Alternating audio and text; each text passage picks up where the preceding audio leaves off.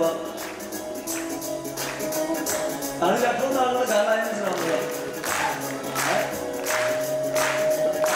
ਇਹ ਸੰਜ਼ਮੀਰ ਤੇ ਬਾਬਾ ਮਸੀਹ ਹੈ। ਇੱਥੇ ਸਰਮ ਦੇ ਬੱਚੇ ਹੈ। ਇੱਥੇ ਕਮੀਆਂ ਦੇ ਦਰਬਾਰ ਹੋਏ ਹੈ। ਇੱਥੇ ਕਾਨਾ ਦੀ ਬਾਂਸਰੀ ਵੱਜਦੀ ਹੈ। ਇੱਥੇ ਸ਼ੰਕਰ ਦੇ ਡਮਰੂ ਵੱਜਦੇ ਹੈ। ਇੱਥੇ ਮੀਰਾ ਦਾ ਇੱਕ ਤਾਰਾ ਵੱਜਦਾ ਹੈ। ਇਹਨਾਂ ਨੇ ਗਾਇਆ ਹੈ।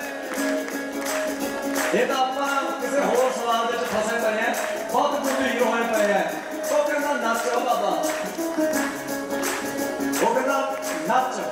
ਆਪਣੀ ਮਰਿਆਦਾ ਮੁਤਾਬਕ ਨੱਚਦੇ ਆ ਸਕੂਲ ਤੈਨੂੰ ਕਹਿੰਦਾ ਐਦਾਂ ਨੱਚ ਨੱਚ। ਤੇਰਾ ਸਕੂਲ ਕਹਿੰਦਾ ਭਾਈ ਕਿ ਅੰਦਰੋਂ ਨੱਚ। ਜਦੋਂ ਕਹਿੰਦਾ ਨਾ ਬਾਬਾ, ਆਨੰਦ ਪਿਆ ਮੇਰੀ ਗਾਏ ਸਤਿਗੁਰੂ ਮੈਂ ਪਾਇਆ। ਆਨੰਦ ਪਿਆ, ਆਨੰਦ ਆਇਆ ਪਿਆ ਬਾਬਾ ਕਹਿੰਦਾ। ਸਤਿਗੁਰੂ ਮਿਲ ਗਿਆ। ਘਰ ਨਾਲ ਨਜ਼ਾਰਾ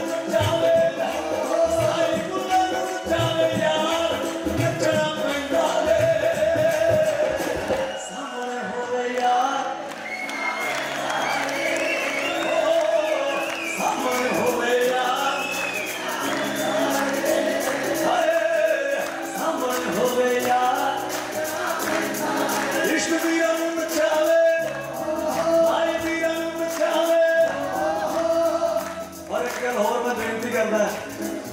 ਗਾ ਗਾ ਤਾਂ ਕਹਿੰਦੇ ਹੁੰਦੇ ਕਿ ਲਾਈਟਾਂ ਸੀ ਜਗਾਓ ਮੈਂ ਕਹਿੰਦਾ ਭਜਾ ਨਾ ਇਹਨਾਂ ਨੂੰ ਬੁਝਾ ਲਓ ਕਿਉਂਕਿ ਜੇ ਘਰੇ ਜਾ ਕੇ ਸੁਣੋ ਮੇਰਾ ਵੀ ਆਪਣਾ ਕਮਰ ਕਿਵੇਂ ਗਾਉਂਦਾ ਸੀ। ਉੱਥੇ ਤਾਂ ਕਮਰ ਗਾਊਗਾ। ਇੱਥੇ ਪਤੰਦਰ ਕੋਈ ਹੋਰ ਹੋਊਗਾ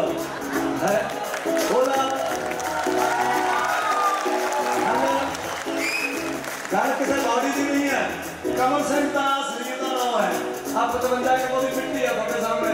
ਇਹ